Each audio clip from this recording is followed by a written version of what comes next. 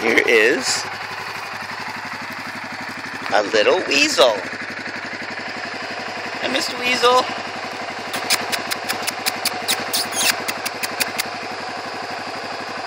Night.